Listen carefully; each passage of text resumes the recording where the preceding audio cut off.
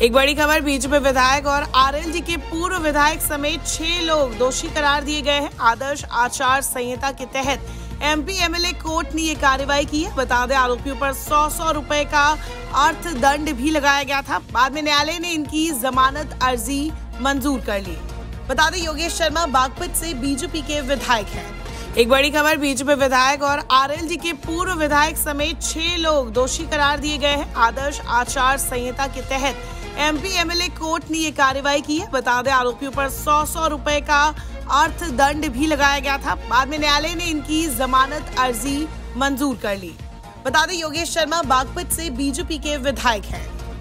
एक बड़ी खबर बीजेपी विधायक और आरएलडी के पूर्व विधायक समेत छह लोग दोषी करार दिए गए हैं। आदर्श आचार संहिता के तहत एमपी, एमएलए कोर्ट ने ये कार्रवाई की है। बता दें, आरोपियों पर सौ सौ रुपए का अर्थ दंड भी लगाया गया था। बाद में न्यायालय ने इनकी जमानत अर्जी मंजूर कर ली।